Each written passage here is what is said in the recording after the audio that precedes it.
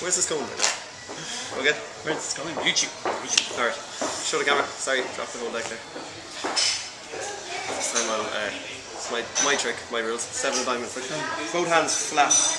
And just push it in with your right hand. Uh, I'll try this. Like seven of diamonds. I know it's seven diamonds, but uh, which hand is your bad hand? Your left hand. Okay. Um. A little bit higher. There's perfect. I'll just move that so the camera can see as well. So uh, I'm going to put the deck there. You're going to cover it with your uh, right hand, so that's your good Okay. hand, isn't it? So as you hold on to the deck, slowly the deck will start to feel like it's starting to melt in your hands. Okay, slowly Okay. it'll start to feel like that. It's okay if you can't feel it straight away. Okay.